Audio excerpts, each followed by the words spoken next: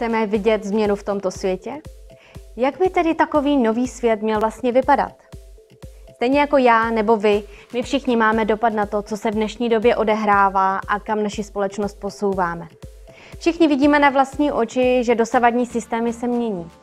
Kolik z nás si ale opravdu uvědomuje ten fakt, že bez změny vlastního myšlení se žádná trvalá změna neodehraje? Již Albert Einstein řekl, žádný problém nemůže být vyřešen na stejné úrovni myšlení, která jej stvořila. Živá diskuze k Sixojo vám přináší perspektivy inspirativních lidí, kteří proaktivně posouvají naši společnost tam, kde by ji oni sami rádi viděli. Během prvních vysílání dostala diskuze spontánně název Křeslo proroka Tokameda. No a to právě kvůli tomu, kdo do tohoto křesla usedá. Když jsme vysílání připravovali, byla nám doručena tři krásná nová křesla. No a toto křeslo je tak vysoké, že když do něj host usedne, má nohy ve vzduchu. Odpoután tak od tíže zemské je propojení mezi nebem a zemí a dává tak volný průchod toku energie a inspirace.